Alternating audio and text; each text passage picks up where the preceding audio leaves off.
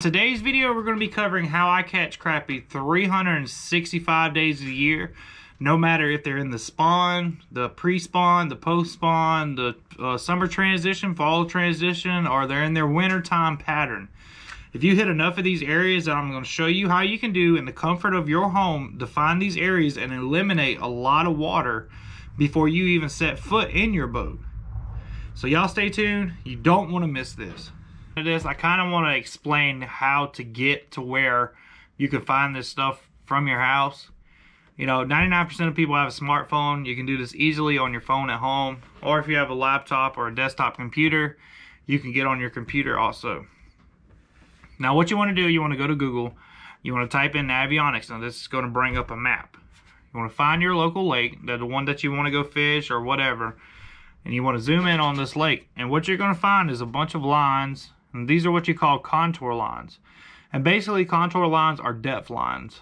You know, just to kind of dumb it down, every number you see is a depth in that certain spot on the lake. Um, some lines are closer together, some some lines are further apart. You know, the further apart one's kind of like a flat and the closer to, together is kind of like a ledge or a drop off. Now, what you find in the middle is either your creek channel or your river channel. You can zoom out the map and kind of find your river channel on any lake. And you just kind of want to follow that channel until you get to, you know, your favorite creek or whatever. Now, if that channel swings into a bank, you know, hold on to that little area. We're going to get there in just a minute. Now, you know, pick your favorite creek on your map and go and follow your creek channel. And eventually this creek channel is going to make a swing. Now, either A, is going to swing into a point, or B, is going to swing directly into a bank. And that's the ones you want to focus on. Now, an easy way to find this while you're out on the water is to actually just look at the bank itself. Most creek channel swings, you're going to have a really flat part on one side of the bank, and then you're going to have a vertical kind of a drop on the other side of the bank. Now, normally that's where the creek channel is the closest because in any given cove that I've ever seen, the creek channel is going to be the deepest part of your cove. Now, when talking about crappie, I love deep water. If you watch any of my videos, I mean, 95% of my videos, the bank behind me looks like a drop off because that's the areas that I'm about to explain in this video. Now we're not going to be showing the areas, so don't get your don't don't get your hopes up for that one. We're actually going to be going on Lake Hartwell, and the images you see behind me are actually banks on Lake Hartwell that I probably will be checking out in the future. So you've got your favorite lake pulled up you know, you you found your creek channel, you found your river channel, whatever, whichever one you want to follow. Now you follow this until it gets as close to the bank as possible. And what this is, what I call them are channel swings. And basically what a channel swing is, is there's something under the water that the creek ran against. And it's kind of like if you went through the woods and there was a deer path that was easier to walk through, you would go to the right and walk that deer path instead of going through the briars on the left. So the creek channel swings to get around something under the water. You know, that might not be 100% true, but that's what I believe happens. And when this channel swings against this bank, eventually it's going to erode the bank down and make a deep drop off or a ledge. Now, when we're talking about ledges or deep drop-offs, we're talking about prime, prime crappie location all year long. I don't care if it's wintertime, summertime, spawn time, all year long. So let me explain why that is. If you can find these key areas like the ones I've shown you behind me on the map, when the fish go to spawn, well, actually, let's back it up just a little bit more. We've got pre-spawn. It's January while I'm making this video, so pre-spawn is coming up. Pre-spawn, These fish are going to follow the creek channel, eating as many minnows, tuffies, shad as they can. And they're going to follow this creek channel, follow, follow, follow. Now what's going to happen? These fish are coming from the main lake. They're going to stop on this channel swing. Why? Because like me and most anglers, we're going to drop brush piles on these channel swings. Or there's a nice juicy dock right on the tip of that channel swing. And that's going to provide cover. Now if you can find a channel swing with laydowns, even better. You've got natural cover just sitting there waiting on you and you can go pluck you a bunch of chickens off of it. It's like using self-checkout at Walmart. All year long. Now, I'm not saying every single channel swing is going to have fish on it 24-7. Do not take that as what I'm saying. It may take you five or six channel swings to actually find some fish. Now, if you have forward-facing sonar, any channel swing you find, I'm sure you can pick off one or two fish. There, there's fish on them all year long.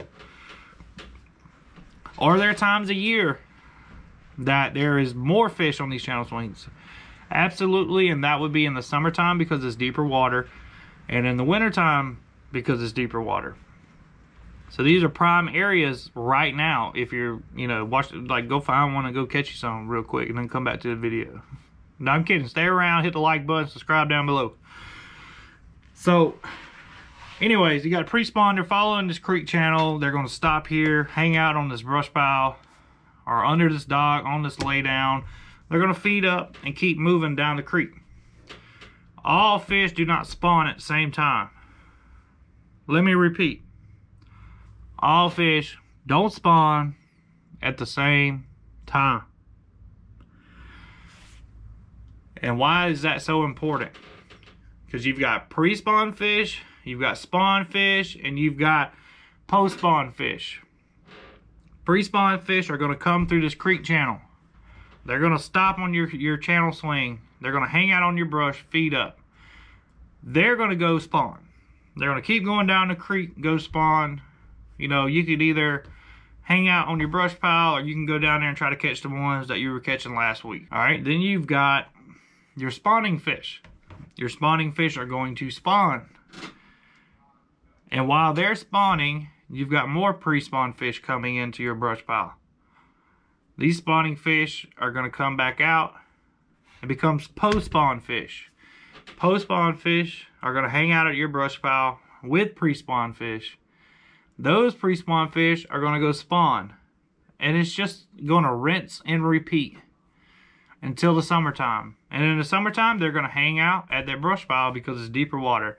Fall transition, you're going to have some come from the main lake to come up there and eat shad. You're going to have some come from the creek to come up there and eat shad. You're going to have some following the creek to eat shad. And they're going to stop and hang out on your brush pile or your dock. That's why you can catch them 365 days of the year. Because no matter the transition, they're going to be hanging out in that deeper water because it's close to the bank. If it's cold, they can pull up to five or six feet and suspend near the rocks. If it's a cloudy day, they can roam around this creek and still have access to deep water. If it's a sunny day, they're able to go down and suspend a lot deeper to be in the shade or whatever, or if you have a dock, they'll be tucked under right up under that dock. now, are there better banks in the lake than others? Absolutely. If you have a channel swing that has, you know, trees that's fallen over, those are amazing, amazing spots and hold a lot of big fish because they're really hard to catch there because you get hung up so much. It's not an angler's fault. It's you get hung up a lot. The ones with docks. 80% of my videos, I am on a channel swing fishing a dock because that is my confidence. I love a dock on a channel swing. And you you catch so many under one dock. It is unbelievable the amount of fish you can catch on a dock on a channel swing, especially a river channel. If you have a, a river channel that has some current to it and you find a swing that has a dock and you put on a 164 ounce jig head and you let that current wash it up under that dock, man, you just got to hold on. So that's basically how I break down a lake before I even get in my vehicle and go out there and catch them.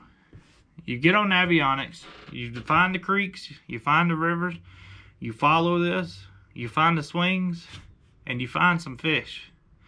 You know, side scan, down scan, no scan. You can use your eyes and look at the bank and just fish. And eventually, you're going to catch you a big old slab. Hope you guys enjoyed the video. Got a lot of content coming out this year, so y'all better be subscribed. Don't miss it. I'm trying to teach the world how to crappie fish. That's my goal. I figured it out, guys. That is my goal. I want to teach the world to be a better angler.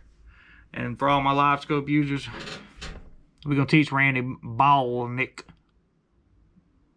that live scope is all right.